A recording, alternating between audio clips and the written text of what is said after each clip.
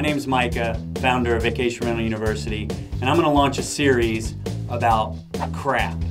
Yeah, literally, our industry can be crappy. What does crap stand for?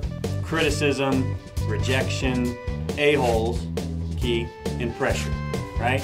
We've got an issue at one of our houses. He said, Well, the guest that just checked out built a sand castle in the living room. And, I, and I'm not talking about a little bucket of sand.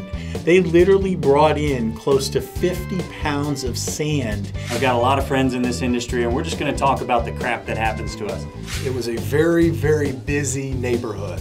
As we opened this trash can, the people had the most amazing seafood boil the day before, and it was 90. What did that smell like? I'm about to tell you. it really got the gag reflex going. Is that funny? What's so funny? What did I do? I can't go if you're laughing at me. The guests ran out of firewood and they decided to dismantle an $800 chair and burn it because they were too lazy to go buy firewood. Go ahead. Come on, man. Stop, stop, stop. Bubbles. Yes, people. Bubbles.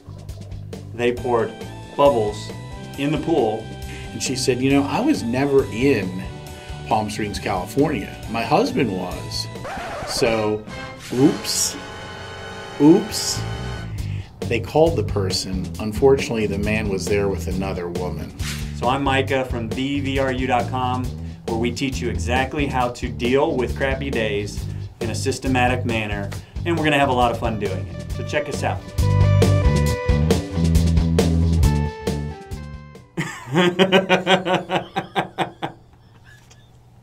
what is your